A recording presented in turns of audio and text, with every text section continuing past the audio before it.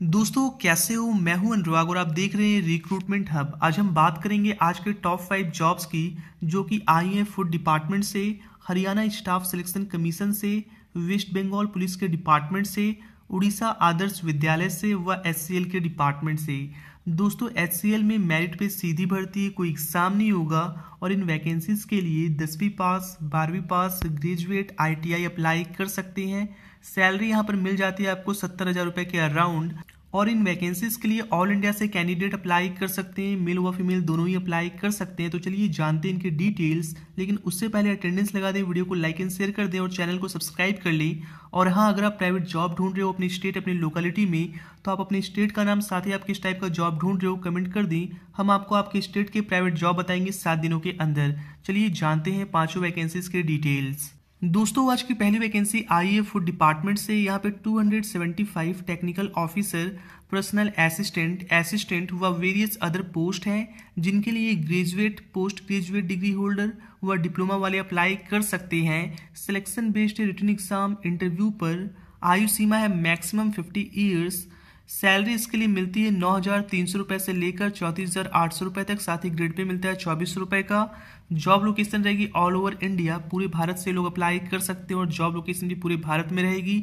Apply करने का date है पंद्रह मार्च से लेकर चौदह अप्रैल के बीच में और अप्लाई करने का लिंक शो कर रहा है। दोस्तों, अगली वैकेंसी आई है हरियाणा स्टाफ सिलेक्शन कमीशन के डिपार्टमेंट से। यहाँ पर ग्रुप डी की वैकेंसी है। टोटल वैकेंसी है टू फोर्टी नाइन। इसके लिए क्वालिफिकेशन है केवल दसवीं पास। सिलेक्शन बेस्ड रिटर्न एग्ज़ाम और इंटरव्यू पर आयु सीमा अठारह से चौबीस साल प्लस रिलैक्सेशन भी है यहाँ पर। सैलरी मिलती है पाँच हज़ार दो सौ रुपये से लेकर बीस हज़ार दो सौ रुपये पर मंथ।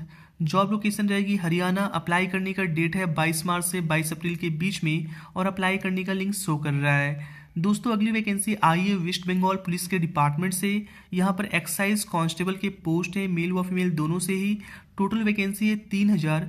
दसवीं पास अप्लाई कर सकते हैं, बारहवीं पास अप्लाई कर सकते हैं। सिलेक्शन बेस्ड है P H T P written exam पर।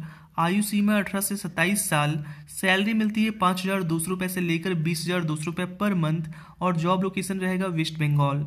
अप्लाई करने का डेट है ग्यारह मार्च से लेकर दस अप्रैल के बीच में और अप्लाई करने का लिंक शो कर रहा है। दोस्तों, वीडियो में आगे बढ़े उससे पहले आज का गिव अवे क्वेश्चन है, कौन सा ग्रह तैरता हुआ प्रतीत होता है? आपकी ऑप्शन है बुद्ध मंगल, शनि या फिर अरुण। अपनी जवाब कमेंट बॉक्स में ज़रूर दें और आप बन सकते हैं एक सरप्राइज़ गिफ्ट विनर। चलिए आगे बढ़ते हैं। दोस्तों, अगली वैकेंसी आई आदर्श विद्यालय से। यहाँ पर प्रिंसिपल टीजीटी पीजीटी टीचर की वैकेंसी है।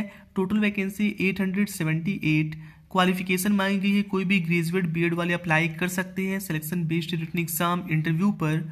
आयु सीमा अठारह से सैंतीस साल। सैलरी मिलती है तेरह हज़ार नौ सौ रुपये से लेकर sixty seven thousand seven hundred rupees per month job location रहेगी उड़ीसा। अप्लाई करने का डेट है चौदह मार्च से पंद्रह अप्रैल के बीच में और अप्लाई करने का लिंक शो कर रहा है। दोस्तों, अगली वैकेंसी आई है हिंदुस्तान कॉपर लिमिटेड के डिपार्टमेंट से। यहाँ पर ट्रेड अप्रेंटिस के पोस्ट हैं। टोटल वैकेंसी 112 दसवीं पास आईटीआई पास अप्लाई कर सकते हैं। मेरिट पे सिलेक्शन है। आयु सीमा अठारह से 24 साल। सैलरी एच पर रूल्स है। जॉब लोकेशन रहेगी राजस्थान। अप्लाई करने का डेट है 16 मार्च से 30 मार्च के बीच में और अप्लाई करने का लिंक शो कर रहा है। दोस्तों, वीडियो में बस इतना ही। वीडियो को लाइक शेयर एंड सब्सक्राइब कर दीजिएगा। जय हिंद, वंदे मातरम।